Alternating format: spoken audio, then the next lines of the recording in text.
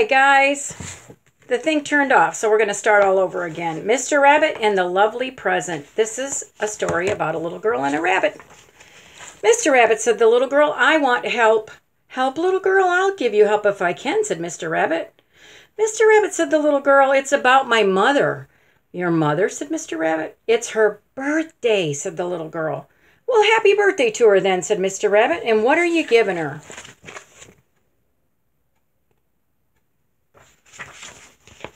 That's just it, said the little girl. That's why I want help. Well, I have nothing to give her. Nothing to give your mother on her birthday, said Mr. Rabbit. Little girl, do you really want my help?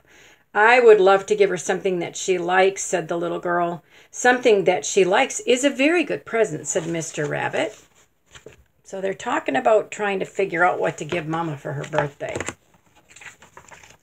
But what, said the little girl? Well, yes, what, said the rabbit. Well, she likes red, said the little girl. Red, said Mr. Rabbit, you can't give her the color red. Well, something red, maybe, said the little girl. Or, well, what is red? Well, said Mr. Rabbit, there's red underwear. Oh, no, said the little girl, I can't give her red underwear.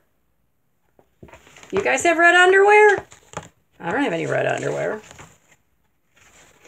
There are red roofs, said Mr. Rabbit. No, we have a roof, said the little girl. I don't want to give her that. There are red birds, said Mr. Rabbit. Red cardinals. No, said the little girl. She likes the birds that are in the trees. So they're having a talk about it, aren't they, guys? There are red fire engines, said Mr. Rabbit. No, said the little girl. She doesn't like fire engines. Well, said Mr. Rabbit, there are red apples. Good, said the little girl. That's good. She loves apples. But I need something else. So they're climbed up in the apple tree and they're getting her some red apples, aren't they? They're going to find something else. What are they going to give her? What do you think? What do you think, Anna? How about you, Marie? Got any ideas? What else does she like? said Mr. Rabbit. Well, she likes yellow, said the little girl.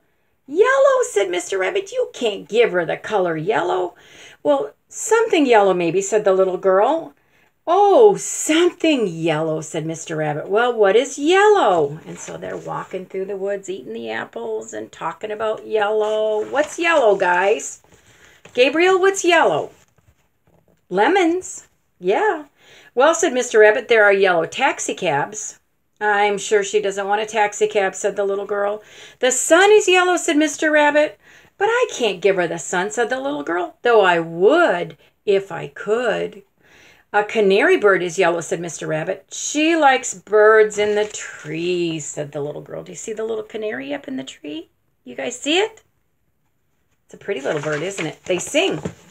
That's right. You told me, said Mr. Rabbit. Well, butter is yellow. Does she like butter? Well, we have butter, said the little girl.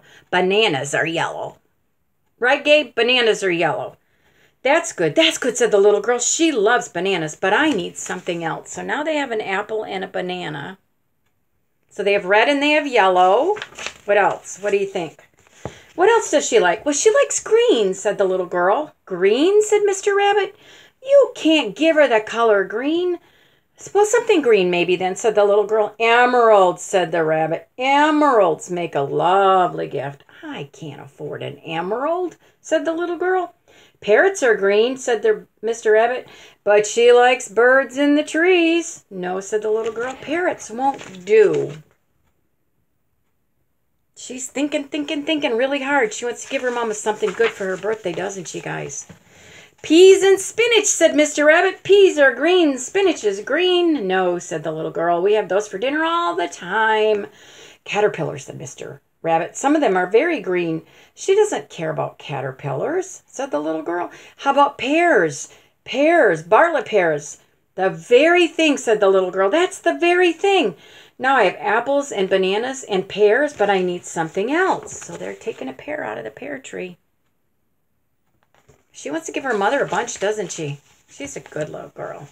What else does she like? said Mr. Rabbit. Well, she likes blue, said the little girl. But you can't give her. I know, said the little girl. Something blue, maybe. Lakes are blue, said the rabbit, but I can't give her a lake, and you know that, said the little girl. She's just having a conversation with this rabbit. He's being pretty silly. Yep, said the little girl. Stars are blue. I can't give her stars, said the little girl, but I would if I could. Sapphires make a lovely gift, said Mr. Rabbit. But I can't afford sapphires either, said the little girl. Bluebirds are blue, but she likes birds in the trees, right, guys? Right, said the little girl. So how about blue grapes, said Mr. Rabbit. And they found grapes. Look, he's got a, some grapes in his hand. What colors does she have now, guys? Red and yellow, green and blue, right? Good. Yes, said the little girl, that is very, very good. She likes grapes. Now I have apples and pears, bananas and grapes. That makes a good gift. All you need now is a basket. I have a basket, said the little girl. So she took her basket and she filled it with green pears, the yellow bananas, and the red apples, and the blue grapes. And it made an absolutely lovely present. Look at how pretty that is, guys. That's just beautiful. Beauty, beauty, beauty, beauty, beauty. Thank you for your help, Mr. Rabbit, said the little girl. Not at all, said Mr. Rabbit. Very glad to help. Goodbye now, said the little girl.